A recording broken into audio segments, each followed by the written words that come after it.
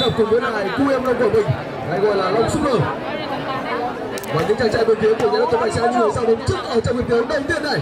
Đó là pha đá bóng của QMC và mở màn của QMC phía của à, của hùng mạnh tiến sẽ là những cái tên. Đó chính là QMC tứ MC thanh đen trương chẳng môn đăng bốn và những cái tên nghe thôi chúng ta đã thấy và bóng ra ngoài của QMC nghe thấy là tình huống phản đấu ra ngoài luôn của QMC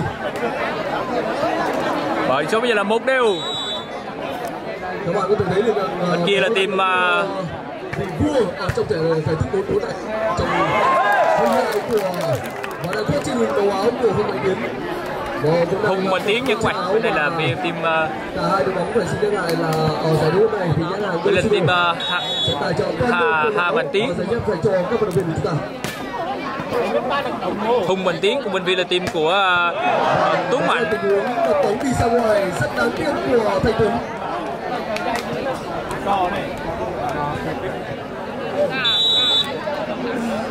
tiếp tục sẽ là tình huống phát bóng dành cho bên phía của những chàng trai. Và phát bóng mang điểm trực tiếp của Tố MC chúng ta còn nhớ và có lẽ rằng cũng đã không thể nào quên được trong buổi ngày hôm qua ngày 1 tháng 4 thì tại huyện Bình Dương xã Thạch Hội huyện Thạch Hà tỉnh Hà Tĩnh cũng đã có một giải đấu cực kỳ chất lượng khi mà Tú FC cũng trong áo của HD Police.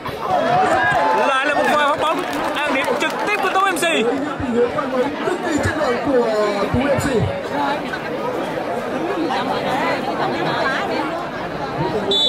FC luôn có độ chính xác rất cao và ôi trời ơi và xử lý không được của à, Thạch Đen từ của Đen rất đáng tiếc nhưng trong pha bóng vừa rồi thì Thạch lại có một xử lý là bóng trước qua lưới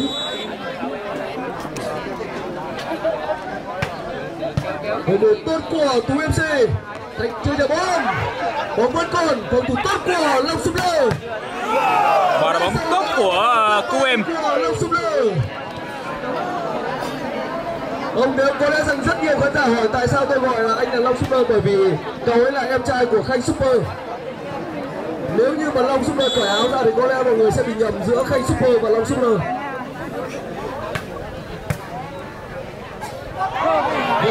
và xử lý rất hay của năm bốn các bạn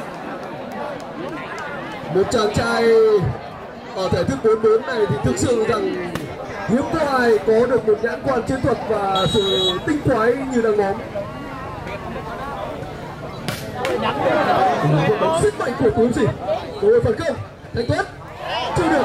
Nhưng cuối cùng thì đã có điểm dành cho đội và xử lý bóng tốt của Thanh Tuấn.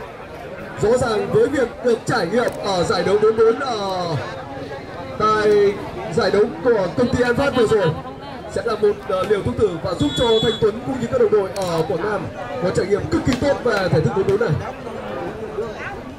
Trường trả bóng một pha đẩy bóng về cuối sân đã có điểm số. Cho team Hùng Bình Tiến theo như chúng tôi đã đo đạc và phân tích riêng một bàn tay của trường thì bằng một nải chuối rồi.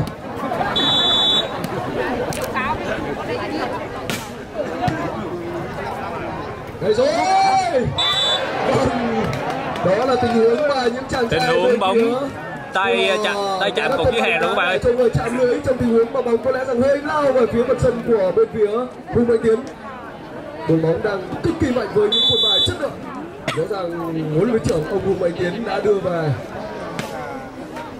Và bóng phát bóng lỏng tay khó chịu của Tuấn Si Bố con Thành đen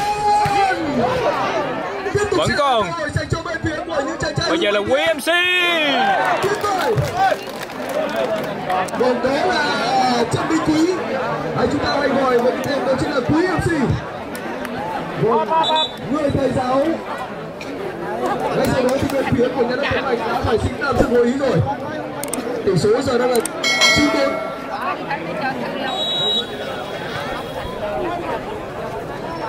trở lại với vào bóng bóng của Tố MC đã có điểm số. Khi mà vừa rồi thì chúng tôi theo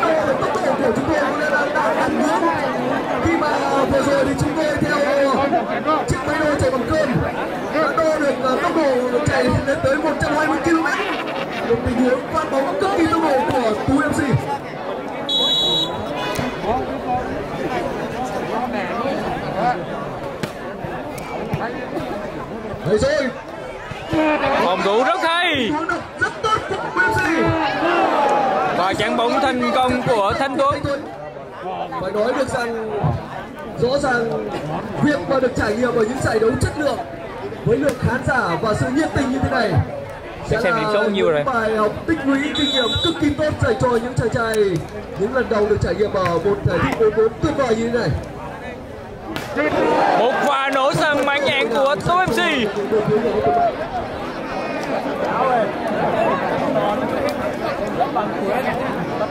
Nếu như ngày xưa mà tôi còn trẻ tầm như huy con thì khả năng còn phòng thủ được chứ bây giờ thì chịu rồi ủa dồi luôn các bạn ơi. Thanh Tuấn. Rồi, phòng thủ tốt của Tuấn Si phản công. Chưa được. Và là bóng tốt của cô em vẫn là cái tên Long Sung Lê. Chàng trai đến từ mảnh đất 73 Quảng Bình với đặc sản đó chính là khoai gieo.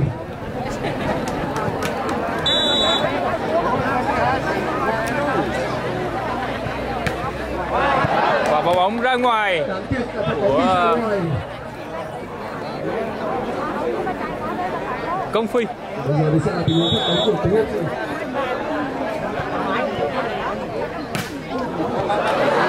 bóng mang đến trực tiếp của Tô FC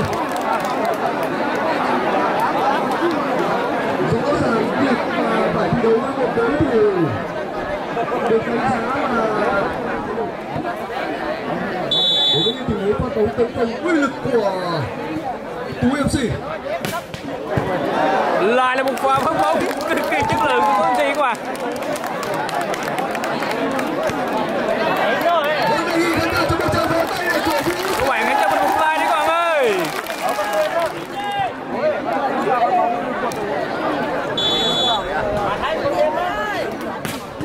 ôi dồi ôi Bây giờ sẽ có là tổ chức vận động lại là tú mc